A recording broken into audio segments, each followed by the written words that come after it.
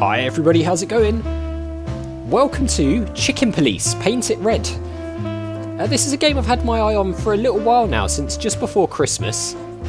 And it looks really, really cool. It's basically like a little noir adventure where you play as animals and stuff, and honestly, it just looks fascinating to me, so I had to play it for the channel. It just looks really, really, really awesome. So we're going to jump in New game, see what this is all about. I literally have no idea what any of it is about. Um, I believe someone gets murdered or something. That's as much as I know really about it all. So, new game. I've seen some screenshots and stuff. But that's about it. I ran out to get a pack of cigarettes, but I left my wallet at home. Yeah, that's me. I'm getting old. My name is Sonny. Sonny Featherland. An investigator for 20 years. And once the star of the predatory division of the Clawville Police Department. One half of the legendary Chicken Police. But buying a pack of smokes is more than I can handle right now. Maybe I should just lay low. Yeah, I'll do that the most colorful place in the wilderness. For all the gods, what bullshit. The last clucking color left this city years ago. And slowly I'll turn gray too.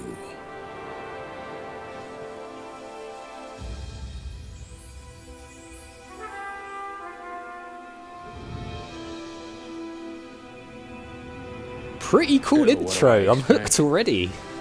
We're living in a vast experiment and don't even notice that everything got clucked up a long time ago. We believe in this wonderland of peaceful coexistence.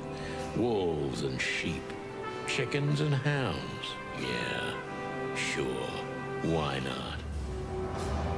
It's just ridiculous. The dog eats the chicken. It's in our nature. I'm not propping up the illusion anymore. 121 days, and it's over. Retirement.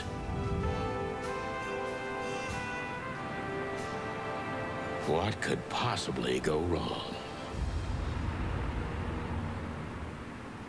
I am really feeling this already. I'm really excited.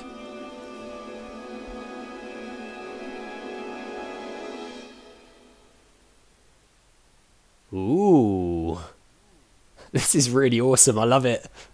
It's so bizarre, but it's great. Oh, crap. My office lock is a piece of shit if a dame can pick it. She stood in the darkness. The light painted stripes on her body. It whispered secret little things that were never there in the first place. But she was no zebra.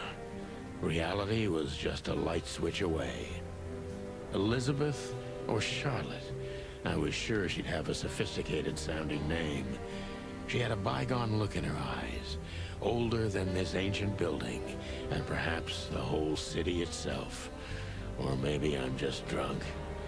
But she was the first womanly thing in my place for a long time, so I had to give her a chance. it's great. I love the vibe. It's so noir. It's terrific. Okay, here we go. Oh wow, look, it's like first person almost. So we've got things we can interact with and look at. So it is a point and click game.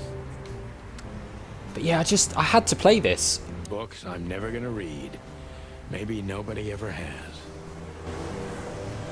Yeah, who knows? Oh, the city's out the window. I Let's look at that. colors anymore. Only emptiness. Everything faded. I need another drink. Let's take a look at the desk, shall we? Ooh, we can use the phone. Is there anyone we want to call? Don't think so, not yet. Pile of papers. I don't even know what these papers are. Okay, cheap whiskey. it's got to be cheap whiskey in the noir genre, hasn't it? Every whiskey has the same color nowadays. At least in this price range. Let's look at this drawer. Oh, yeah, nice, a she gun. doesn't seem so dangerous that I need to grab my gun, but You never know. Yes, I don't know if there's like moral choices or anything like this in this game. My last, My last cigarette. cigarette. You're lucky I don't have a light, pal. Police badge. My wallet and my badge. The wallet is real. The badge ain't.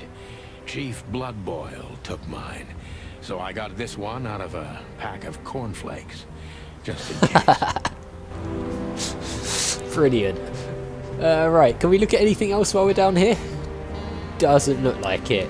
I've got to say this is terrific. I know it's won some awards and things, and I can see why I already. promised myself I'd write a novel one day. You should. I bet you got some real stories you could tell. Uh, right, there's a cabinet I don't even over know here. where the key is. Whatever's inside is gonna stay there forever. Fair enough. Pictures. Ooh, look at this. The Wild Gentleman. The Wild Gentlemen. Those guys rebuilt the city after the Great Fire of 867. My heroes when I was a little chick. I'm starting to think they should have left Clawville as it was, burned to the ground. I love the story and the lore and everything. It's so story rich, isn't it? We used to be star cops a few years ago. Tabloid press, radio interviews, and even a book series. I don't miss those days. Of course, Marty, my old partner, would disagree. He just loved the spotlight. Ah, so I wonder if the partner's dead or something, or whether they had a big dispute and fell out. I guess we'll find out. This is... ah, this is one of the most beautiful memories from my old life. Before Molly left me and took our daughter. Wouldn't be a noir story without him losing his family, would it? The good things in life don't last long. The best ones always leave first. I saw that in the window of a shoe store. I never understood it. or what it had to do with shoes. Oh dear. M.B. Davis, the eternal king of jazz. The photo is from the days of jazz prohibition. I only heard the old man live one time, but I'll never forget that night. And not only because I woke up at the harbor without my gun, my badge, and my pants. Sounds like quite the night. We can turn the lights on. Oh, I didn't even realise there was a light there. There we go. Well, that makes things a bit better in here, doesn't it? Right, there's a bedroom door. So what are these then? We've got... Ooh. Look at all this. People. Places. Hotel Atlas. This used to be a nice place. Now, we're competing to see who gets swallowed by decay first. The hotel's winning. But honestly, I'm not that far behind. So we've got a lot of places we can go to as well. Uh, codex, some stats. Wow, seems like there's a lot for us to do. Interesting. Uh, and we've also got our inventory here, and our, oh, I love the way it opens the bag. That's so cool. I haven't dusted you off in a while, partner. Looks like I may be needing you now. I've got to say, first impressions from this in the opening, what, 10 minutes? This is absolutely fantastic. Ironic, but ever since I've been on furlough, with only my fake badge sitting in my cabinet, I feel more like a cop than I ever had before. More like a Clawville cop, anyway. I love how it's called Clawville as well. I keep pressing the wrong button there, sorry guys. Oh man, I totally get you. I love it. This is so good. I cannot wait to get properly stuck into this. Uh, the wilderness. I wanted to travel the world when I was a kid, but I think I'm gonna end up dead in here whether I like it or not. Probably a good chance, knowing how these things normally go. Behind that door lies the kingdom of dirty clothes, cigarette butts, and empty bottles. Might want to do some tidying up then. Uh, right, so let's talk to this person. Ask, Let look, me introduce myself. speak. My name is Deborah, Miss Deborah Ibanez. Oh, I love it. You're mistaken, ma'am. Look how cool the characters look as well. So we can do autoplay, we can replay, or we can skip the dialogue.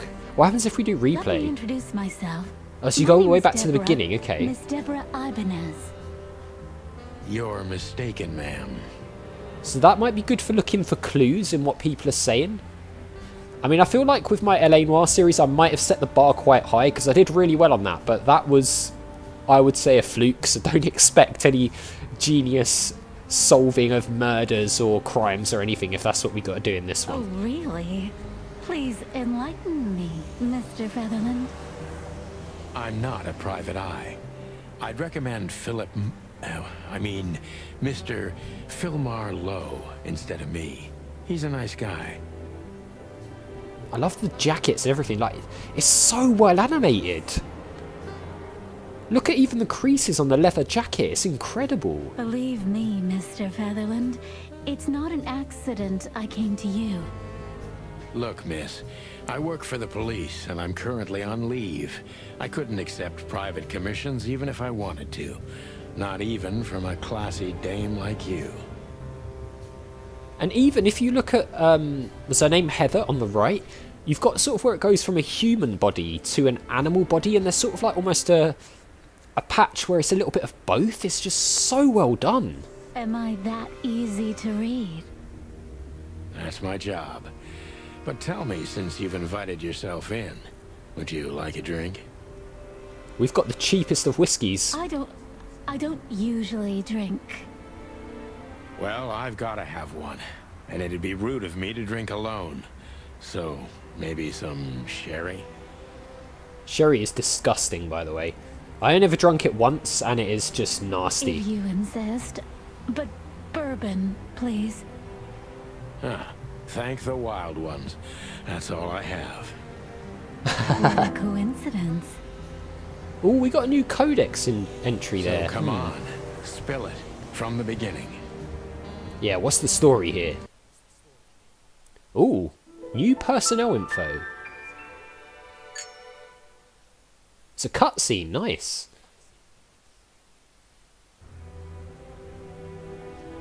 Huh, so... Let's look in our diary and see what we've got here. So, people. Name Deborah Ibanez, species Impala, gender female, special feature pretty and fragile, nothing too special. Okay, so we got a codex entry as well, didn't we? The Wild Ones. Three gods are revered in most places across the wilderness. They're the Great Wild Ones who make up the holy trinity of creation, destruction, and silence. Hariti is the goddess of creation, Tapti is the lord of destruction, and, well, Nkavatiti? I don't know how to say that, is the gentlest ghost of silence and nothingness, keeping the balance between creation and destruction in their never ending conflict. Okay, so there's some sort of like um, deity sort of thing going on here as well. So, what do we. Do we have to get the whiskey? Murky brown swill. I should improve my standards. The voice acting is top notch though, absolutely love it. Right, so let's look. Oh, so we don't actually have to click, we just have to hover that on go on for days. Deep, dark eyes. Silky skin and voice. You're in big trouble, pal. Uh, question, asked, speak. Now, if I understand correctly, your mistress is receiving threats. What kind of threats exactly? It's a very strange matter. First, there were letters.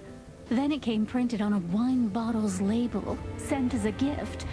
Then carved into a brick, thrown through the window. And finally, Ooh. they painted it on the wall of the house in giant red letters. Interesting. So I noticed as well on the intro there was a bit of a thing where the colour faded into black and white. So there's something weird going I on, think isn't it's time to dig a little deeper.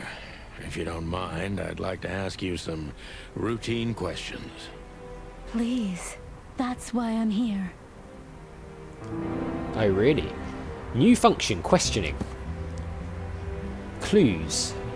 The victim, a lady, is the target of some strange threats. All of them are written. So they're all written threats, no spoken ones or anything like that. Um,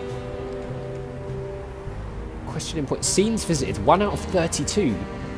So yeah, there's quite a lot to do in this game, which I'm really excited about. I wasn't sure how long it'd be, but it seems like it's a, a really good full-length game, which is excellent. So guys, I think that's where we'll leave it for the first one, but I cannot wait to continue playing this. This is absolutely fantastic. Uh, so if you enjoyed the video, hit that like button. It really does help YouTube to push this out to more people who'd want to see it and who'd want to join our little point and click community that we're building here. A big thank you to our patrons Arcades Games, Wayne and Nate for all the support on my channel. I really do appreciate it.